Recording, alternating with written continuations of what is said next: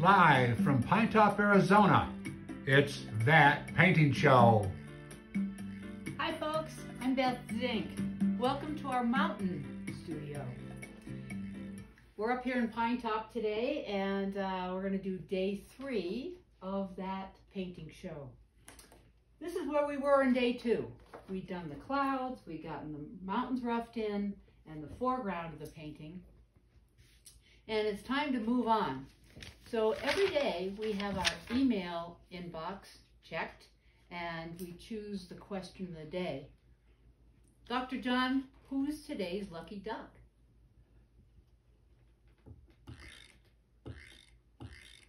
Today's lucky duck is Jeannie from North Carolina. Whoa, okay, Jeannie. What does Jeannie ask? She said, hey Beth, I'm following along with your painting. Can you continue and finish it? Well, Jeannie, I'll try. Probably not today. We'll probably uh, work on another day or two. But if you want to email, this is the email address. Thanks, Ducky. This is the painting we're working from. It's one I did a few years ago. It's called Meadow Gold. And I thought what I'd do to help you work you through the, the rest of the painting is that I would do one side of it, complete one, or almost complete one side of it, so that you can see where we're going, where we are, and where we're going. So, here we go.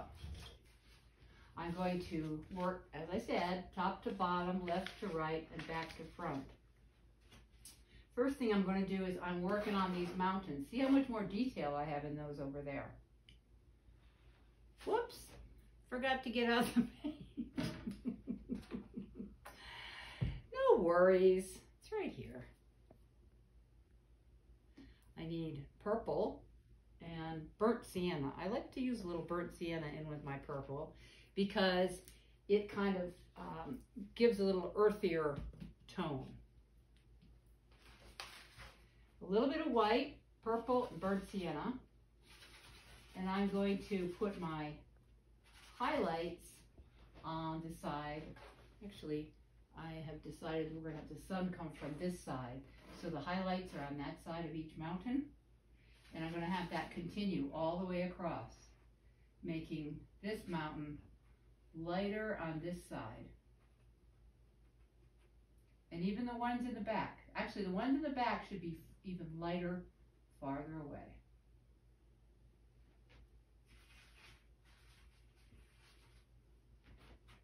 This is the dark side. The highlights only come halfway. So make sure that you think about halfway over and have this be the darker area of your mountain. This is the dark side. I'm using real short, kind of directional strokes.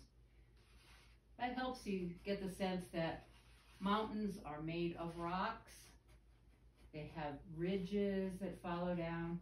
So you want to kind of just have your strokes follow the contour of the mountain itself.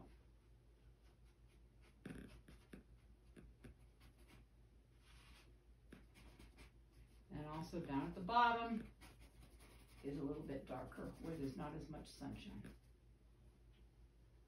Okay, so now I have this mountain a little bit more in keeping with the ones on the right. If it's not quite light enough, just add a little bit more white. You know, uh, acrylic paint dries slightly darker. So when you apply the paint, you're, you might think it's going to be real light, but then as it dries, it darkens. We're also going to put the dark side on this side of this mountain. And this one too. Okay, I'll leave that line there just so you see where I'm going. Next, considering going back to front, we're going to be working on these distant trees. Farther away any object is, the lighter in color and smaller it gets. So we're going to have, even though these just look like little blobs of color, they're actually full-size trees with trunks and all that. It's just that we can't see them. This might blend a little because my other paint isn't quite dry. You let it dry first. Don't do as I say, not as I do. okay, so that is that band of trees along the back. Maybe I'm going to make some a little bit taller. Remember our light's coming from the left, so our shadows, see how each one of these is kind of a domed form? So our, they're really, you know how trees kind of have a rounded top canopy. I'm to have the dark side on the left side of each of those little rounded forms. So that kind of looks like trees off in the distance. I'll add a little shadow a little bit later.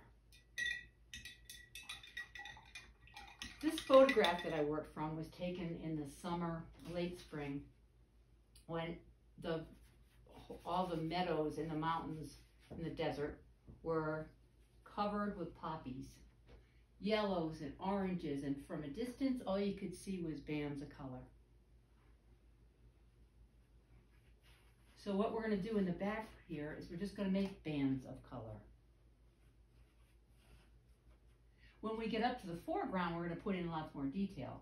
But for now, just these kind of, it's kind of like stripes, but you don't want them to be exactly the same, as randomly as you can.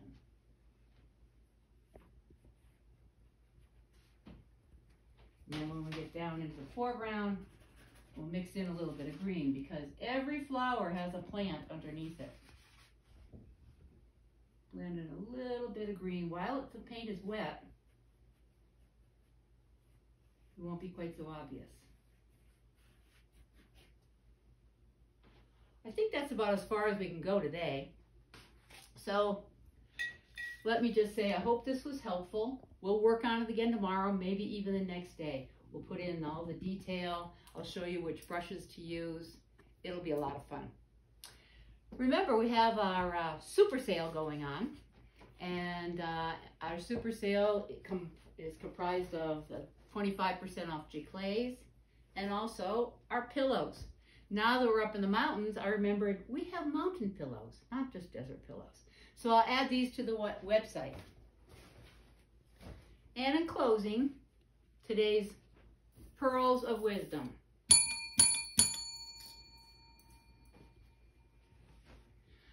When the going gets tough, the tough get going.